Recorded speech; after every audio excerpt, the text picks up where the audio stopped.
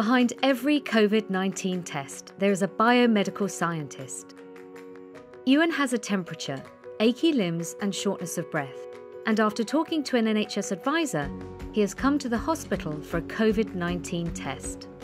An infection control nurse takes a sample from the back of his throat and another from deep in his nostril and sends it to the hospital's virology laboratory.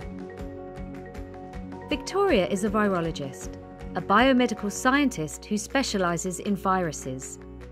She uses a safety cabinet to make the samples safe to work with. Then extracts the RNA genome of the virus that might be present. Once it's ready, Victoria prepares the RNA for testing. This makes a DNA copy and then multiplies and measures it indicating whether the RNA virus was present in the original samples.